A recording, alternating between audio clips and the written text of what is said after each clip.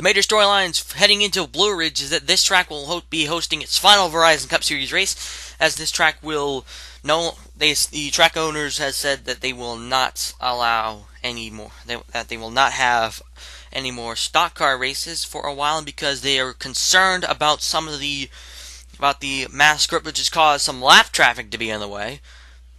Um, however, the, the track owners are expecting some IndyCar, the Vizio IndyCar Series races to happen somewhere in late May or early June. And also, the biggest story that was coming into this weekend was all the penalties that were assessed following the race 27 at Homestead. Um, out of the seven drivers that were assessed penalties, three of them had some type of points penalty.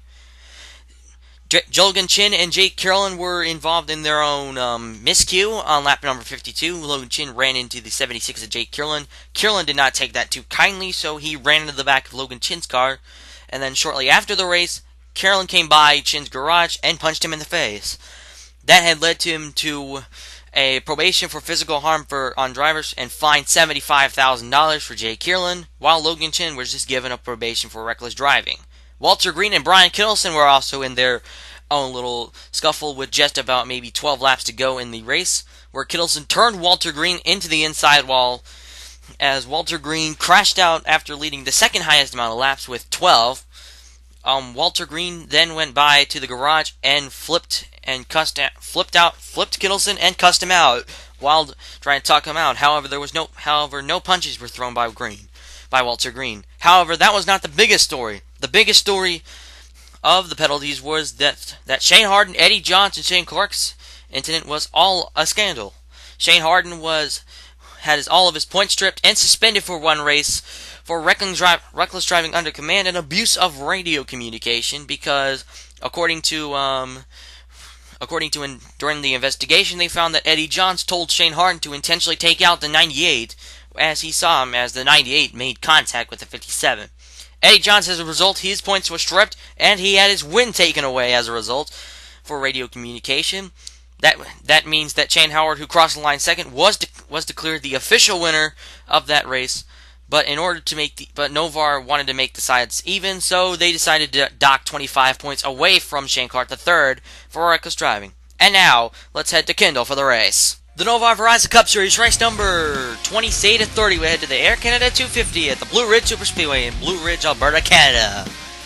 The McDonald's War will go to number 11, James Wilson Jr. Wilson Jr., who won his first, this is his first career pole. He's going to lead the field with Eric Wilbur in the 07, Colin Greening making his first ever Verizon Cup Series start, replacing Shane Harden, who was suspended after the um, John Gates incident, and Dylan Wally in the 74 is in fourth spot. Gordon Billard in fifth. He's going to already make his move down to the inside of the 57 of Greening. The 57 and the 74, they're going to go three wide. James Wilson Jr. has a good cushion over Eric Webler as they're going to come out of turn number two and down the back straightaway. As you see, they're already starting to go three wide. As in a lap, everybody's going to start all bunched in, but James Wilson Jr. he uh, looks like he will have the lead, but Eric Weber gets a good run coming out from turn four, and looks like he will go and take the lead and lead the first lap of the race. Weber will just pass the 11, and he will be the leader of the race with James with Jared Lancel, the third place man in points. He's in. He's going to try to get second away with Logan Chin in the 72, one of the seven drivers that were penalized last week. First caution would fly at just four laps in. Uh, Colin Greening's debut will go up into disasters after Blake Battaglia gets up into Dave Payton, gets into Shane Howard, and then he gets Cody White in the 59 of Eddie John. Your your second place man is involved. Aaron Fisher also, I believe, got involved, but I believe that the 89 did not get any damage. Here is from Eddie John's perspective. The 50 gets up into the 24, gets the 5703, and then the tw 24 comes down, gets the 22, and gets the 59. The and then the 89 turns the 24 around. Here's and here's a pretty weird accident. This was as they took the caution. Scott Johnson turns Mike Hogan, and they all do that. As as I believe Alan Kimmel did, I believe a back either a front flip, I think, in that number 88 car. That's what you don't normally see in Novar, but that was kind of strange right there. Daniel Salon in the 99, lean on the restart with James Scotty in the 9, Josh Mertz in the 81 was in third, Jared Webler in the 17 fourth, and Cameron Brooks was in fifth as he's already making a move under the 17 of Jared Webler. Webler was, I believe, ever since Webler made his Verizon Cup debut at, at Nashville a couple of races earlier, His worst finish has been 11th, which I would believe that happened at Dover. But Webler has been pretty prone to be um, a contender every time he makes a Verizon Cup Series turn. Although we don't normally see Webler all the time. Meanwhile, you see, meanwhile up ahead, the nine of Jamie Scotty takes the lead away from away from the 99, and Cameron Brooks is right there. We're focusing on Josh Mertz now. He is right now in third. He's on the outside. He's gonna shut the door on Brian Kittleson and shut the door on Brian Dawson. That was a powerhouse move by Mertz. But the second caution would fly a lap nine. Um, we're focusing on Chandler Blinkta, but that's not. But this is not the actual start of the reg. As he tries to pass the lap car Shane Hart, Colin Greening, he makes a rookie mistake and thinks he's clear, but he just turns down and causes a wreck. Eric Webler, Dylan Wally's involved, but that is not all of it. Here is there was no. He, Greening thought he was cleared to pit, and then he just made a mistake and miscalculated by a lot, and he gets MJ Holloway and Shane Nargan in the process. Blake Battaglia in the 50 does a great job avoiding that, and you see the sliding Austin Warwick. Here is Warwick's perspective. He tries to avoid, he goes down to the bottom, but couldn't make it, couldn't react in time, and he slides across the grass. Um, Colin Greening was only given a warning since he was a rookie, and this was the first time he's ever driven and been in a Novar Cup Series race, so they only gave him out with a warning. Um, Jamie Scott in the 9 was your lead on this restart with Cameron Brooks in second, Josh Mertz in third, Brian Kittleson in fourth, and I couldn't really tell who was that fifth. I believe that was Brian Dawson. But the 90 Jamie Scott he will be in second. There is Brian Dawson. He passed the 99. Daniel Simon was actually fifth, excuse me. The 9, the 9, the 33, the 53, and the 81, they would all have their battle for the lead. Right there as they come out of turn four. Looks like Kittle's going to make it three wide for the lead. And apparently Brian and coming to the line, it will look like Cameron Brooks led that lap. Caution 3 would fly on lap 17. And it was, I believe, the biggest crash of the day.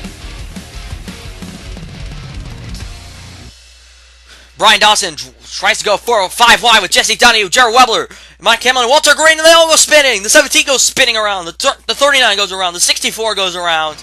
And then some drivers slow down. The others get have nowhere to go, like Gordon Billard um, David Payton is collected in this as well. Jay Honori and Eric Webler run in the back of each other and they slide. The 0-1 slides. Eric Webler has heavy damage. You can obviously tell he is done for the day right there. Here's from the helicopter's perspective. Five wide this never works at super speedways, and that's the reason why. And Cameron Brooks and Michael Scott do a pretty good job, although they just do until, although they just bump into each other during that. But and whoa, Shane Clark the third comes barely, narrowly misses that one. Uh, that was a pretty impressive move by that by your points leader, right there. Mark McGill in the 56 was your leader on this restart with John McDowell in second, Josh Mertz in third. Yeah, how many times has been? What a, what a theory. Um, the 56 of Mark McGill, he would get a um, good jump over Sean McDowell. Josh Mertz was in third. Jeff Johnson was in fourth, and fifth was Aaron Fisher coming back from that um, lap four incident. Um, from we would have from here we would have a the rest these last 78 laps would be green. And this would actually break the um, record from the 2000 from the 1996 event which had 74 laps which had the final 74 under green. As here comes Jeff Johnson make he makes a move under all of them. Josh Mertz thinks is a good idea and he's going to draft for the 77 and double zero. Mertz has been has been a contender in several occasions but however has not had the results unlike McDowell, who's actually gone close to the results, but not what he wants. Mertz has, Mertz has done very well in most of the races that he's been, except he is mirrored back about 25th in points because of bad lucks, because he has had bad luck, like crashes. Although he won at Charlotte, which which was admitted to be a crash fest. As you see on the bottom, if, if you look at the car behind Jeff Johnson, that is Jared Lancel, your third place man in points. He Lancel has avoided both of these um, chaotic, all three of these chaotic incidents, which swipe down two of your points leaders. Actually, all three points leaders are still going, but I think the um, I think the um, they all have, I believe, crashed. Green flag pit stop start on lap number 51 and go from till about lap 55, I think. And then Brian Kittleson, your defending champ, makes an aggressive move, just passes Josh Mertz before they enter pit road. So that was kind of an aggressive move by um, um, Brian Kittleson. As this would cycle out, we would fast forward to about coming to the white flag. Jeff Johnson has a good cushion over the rest of the field. You see, there's lap traffic up ahead. Johnson, who almost won at who had a who had a shot at Las Vegas before being wrecked on the final lap, he's got a shot to do it now. Here he comes now coming around turn number two, around turn number three now. Now they're heading up the back straightaway. Sean McDowell, the double zero, the second place man is coming. Can he make the move, or will Jeff Johnson have his win locked up in the hands? Here, McDowell's coming. He get Johnson accidentally opens the opens the door for McDowell. It's gonna be a drag race between the 77 and the double zero. Who's it gonna be? And it looks like Sean McDowell will get his first win of the year for Tyson here at Blue Ridge. His first win for Tyson Bell, first win for Tyson Bell Racing, and that win that Sean McDowell wanted, he finally got it here at Blue Ridge after passing Jeff Johnson on the final lap.